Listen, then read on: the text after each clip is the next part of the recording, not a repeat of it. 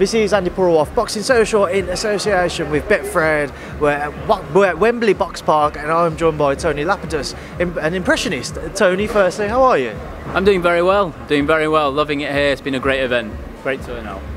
Glad to hear about you're in good spirits. Um, obviously, as, as, you know, I have a very good relationship with Mr. John Fury. We've spoken over social media about that, so he's one of the men you have numerous videos on. He's is Mr. John. So let's just get straight into it. I don't, I've never done an interview like this before, so I'm trying to find the best way to go into it.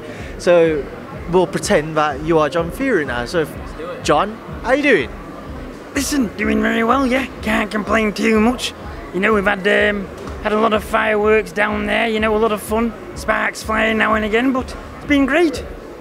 Seeing both Tyson and Dillian on the scales there, John, what did you make of them? Listen, you know, good luck to both of them but I don't think that he's got any chance against my son. You can see what's up there. The man ain't been born what can take my son, and everybody knows it. So I'm not worried too much. I'm very confident. I'm the proudest father alive.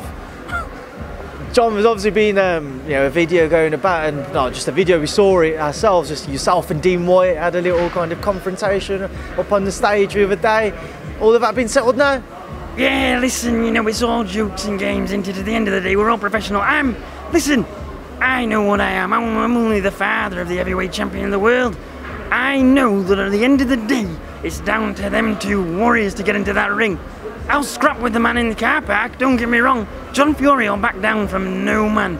So if he wants to go, I'll be going right now. And you know that more than anyone, don't you, Andy?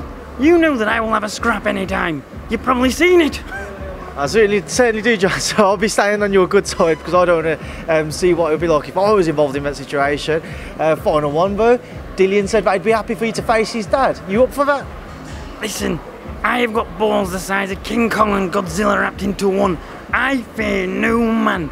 I'll fight Dillian Whyte, Frillian White Knickers, I'll fight his dad, I'll fight anybody. Listen, I'm not scared of anybody. If he wants to go now, because I grew up fighting. That's what people don't understand. I grew up fighting, and I'm a fighting man till the day I die, I can tell you that. I'm a proper hard man, and I'll fight any fighting man that's worth his metal. What's the post-fight victory meal going to be if Tyson's successful, John? What's it what? A post-fight victory meal if Tyson is successful on Saturday night. Probably a starter of cement, fresh cement, Sprinkle a few nails on there, that always goes down well. Liquid tar for a drink, love a bit of that. Can't get enough of liquid tar, fresh and hot.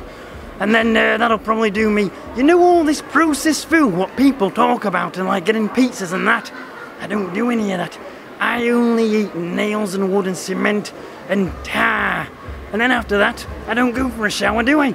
I go into a furnace, step into a furnace, and that does me well, and I'm ready for bed in my own quiet, private life, and that's how I like it. That's my celebration, mate. John, moving away from yourself and onto your son, Tyson. Tyson, how are you feeling ahead of Saturday night? Listen, I can't complain. You know, I've had um, a great camp. It's been great. I've got absolutely no complaints. I'm feeling confident, feeling fit. And um, it's a professional sport. It's only a boxing match at the end of the day, so nothing to worry about. But I can tell you, after this, it's done and dusted, over and out. We've seen you boxing many different styles throughout your career. Heading into tomorrow night, is it one which we can expect you to take up that southpaw stance we saw you do in the workout? Will you look to be more aggressive? Will you look to box on the back foot? How are you going to approach it? I'm a man of many skills. I'm a man of many things. And I don't like to give away my, my game plan. But I will say this. If I want to switch it up to southpaw, depends what he does, you know. I know he's got a bit of a tricky left hook on him.